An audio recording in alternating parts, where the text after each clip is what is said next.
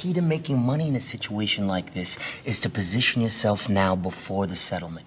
Because by the time you read about it in the Wall Street Journal, it's already too late. Community, we are the foundation. Mm. So if we vote to, we could dissolve the foundation. So the power is in our hands as Mm. spark holders. And I think that's very powerful for us as a community that's already an army. So now we need to take this and you know make this the network. And it's it's it's very possible that this flare, I believe, could swallow up trillions in value out of the crypto market and traditional markets. Mm-hmm.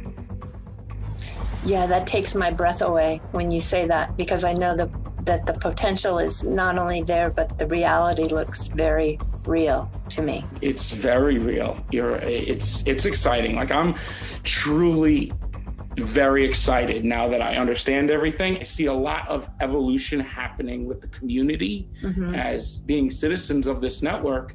And it also opens up XRP Ledger. Any of these F assets could move on to the XRP Ledger. And that's that's very powerful too. Does this mean all the money?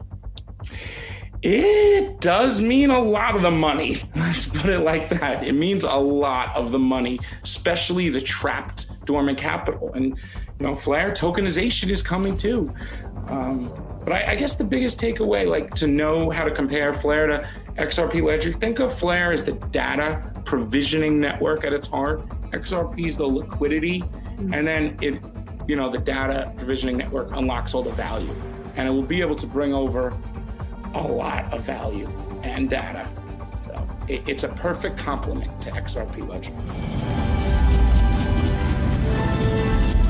Propose creating their own digital currency. And I was wondering how much of a threat is that to the dollar, uh, to, to the dollar and its dominance of uh, world markets? And if it is a threat, what can we do about it? Well, um, you know, I think I think there's sort of a lot of different kinds of things that fall under digital currency. Presumably, the one, the sort of electronic forms of money China envisions, are ones where um, things can be monitored again even more uh, granular in an even more granular way uh, than they're being monitored currently. Um, uh, you know, the the geopolitical thing I, I sort of wonder about is always that uh, you know the U.S. dollar is a reserve currency of, of the world. You know, there are some things about that that are good for the U.S., some things that are um, more problematic. Um, from China's point of view, they want to get um, they don't like the U.S. having this reserve currency because it gives us you know a lot of leverage over you know Iranian oil supply chains and all sorts of things like that. Um, they like uh, they don't want the renminbi to become a reserve currency because then you have to open your capital account and you have to do all sorts of things that they, they really don't want to do. Um, you know, I think the euro you could think of as you know was in part a Chinese weapon against the dollar. It didn't the last decade hasn't quite worked out that way, but that was you know China would have liked to see two reserve currencies like like the euro, and uh, you know even though I'm sort of a pro crypto, pro Bitcoin maximalist person, I, I do wonder whether at this point Bitcoin is also uh, should also be thought in part of as a Chinese uh, financial weapon against the U.S., where it's it is it threatens fiat money, but it especially threatens the uh, the U.S. Uh, dollar, and um, and China wants to do things to weaken it. So it's sort of China is long Bitcoin, and perhaps from a geopolitical perspective, uh, the U.S. should be a little bit uh, be asking some tougher questions about exactly how that works. But I, I, some some internal stablecoin in China, that I mean that's not that's not a real cryptocurrency. That's just uh, you know that's just some sort of totalitarian measuring device. Venmo for the communist. Yes. Mr. Secretary, are you going to comment on that? That that story made the front page of the Journal this morning, or Mr. Ambassador, about China wanting to start their own Bitcoin. What do you think about that? So what, if I understand what they're doing, is they're digitizing their currency. So separate from Bitcoin, it's still fiat currency, right? That is still mm-hmm. Chinese money that they are now digitizing. It has huge impacts for their surveillance capacity. They would pitch it as anti-fraud. You can prevent fraud from taking place. Uh, I suppose that's true. Uh, this is something I think they believe will reduce the costs of cross-border transactions as well for the Chinese. Your point about not wanting to be a reserve currency, I think, is right. Uh, I think they'd like it to be among a mix. They want to make sure that when uh, when Secretary Pompeo issues the sanctions against the Iranian leadership, that there is a way to purchase Iranian oil that we don't have the capacity to either seize, understand, or uh, impact. And so I do think these digital currencies, separate from uh, Bitcoin and cryptocurrencies, are something you'll see more countries go to. The United States has a project where we're working on it too, but we are we, we will be we will be slow off the gate. It has lots of implications for us here at home. And uh, my guess is that we will not be the leader in this forefront, where an authoritarian regime like China sees nearly all upside from having the capacity to issue currency or take away currency from people who act in ways that are inconsistent with uh, Xi, Xi, Xi Jinping thought. No, absolutely. You think of one of the things that gives folks freedom is the ability to walk in with a hundred dollar bill or, or, or some type of currency and buy something without it being tracked. But the Chinese will be able to track every single purchase that everyone makes. Now we've freely given up that uh, that privacy in many ways with Amazon, so there's a record of everything that we purchase these days. It seems like, uh, especially during COVID. Uh, but but by taking away uh, you know hard currency that can uh, that can be used to purchase things, uh, it, it, will give the Chinese Communist Party an, an enormous measure of control over the, the Chinese people. Which and, and every, every time they have an opportunity for more control, they'll take it.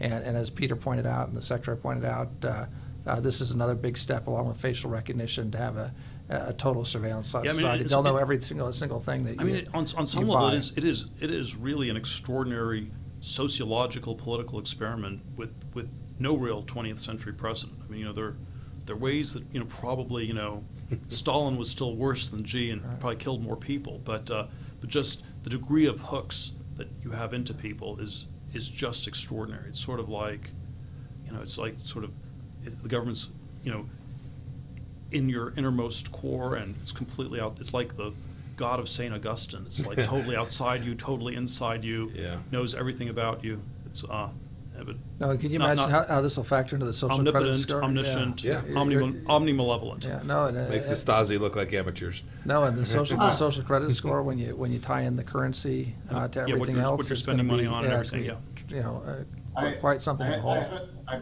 I've never heard the term omni-malevolent before. No, uh, Peter, following up on Mike's uh, question, which I, I think there's a consensus now that AI and quantum computing are the new high grounds, or at least Mm-hmm. will be the high grounds for the future. And, and, I, and I think there's still a consensus that we have an edge uh, in both those areas. Yes. Although again, it's uh, it's a diminished edge over where it was uh, a few years back. Uh, what's your advice to the Biden administration? How do we stay ahead on quantum and AI?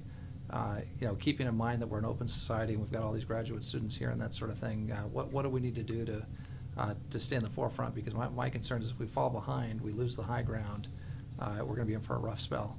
Yeah, the thing that I would say is tricky about AI is that there are, you know, a lot of aspects of the technology that I think we don't actually want to be pursuing too much because um, it's it's AI is what you need for a surveillance society. You know, I've, I've, I've had this riff where you know people often say crypto or Bitcoin is a vaguely libertarian technology. I mean, technology is politically neutral, but it can still be crypto's sort of if crypto is kind of libertarian, then AI is kind of communist.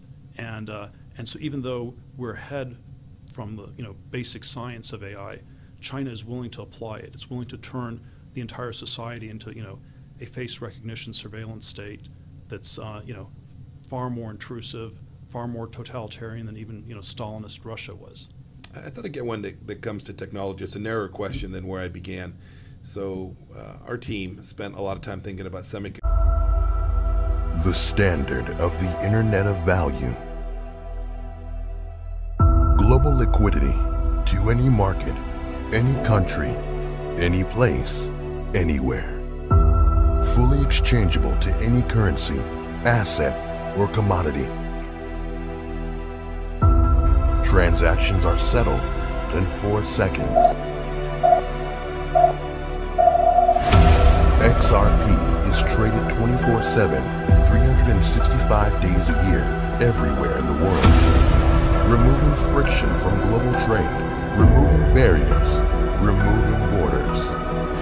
XRP transfers value anytime and all the time. From you to any place on earth.